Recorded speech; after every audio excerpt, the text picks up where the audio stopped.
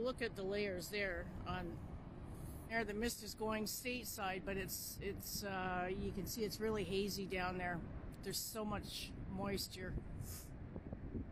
So when there's in too, because according to the weatherman, it was supposed to be cloudy. I wasn't going to come down.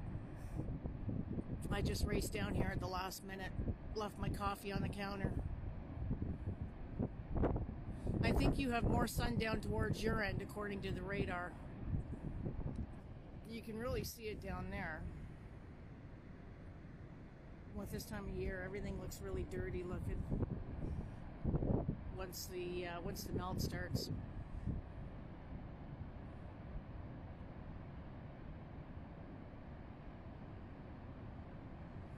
Yeah. Yeah, it's not hard to fall in love with these falls down here. I could sit here for hours.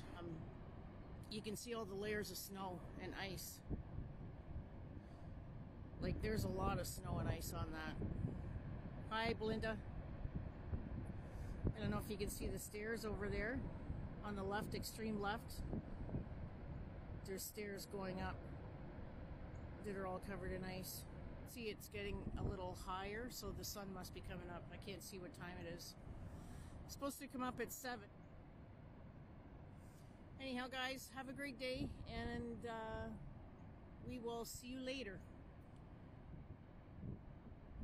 Bye.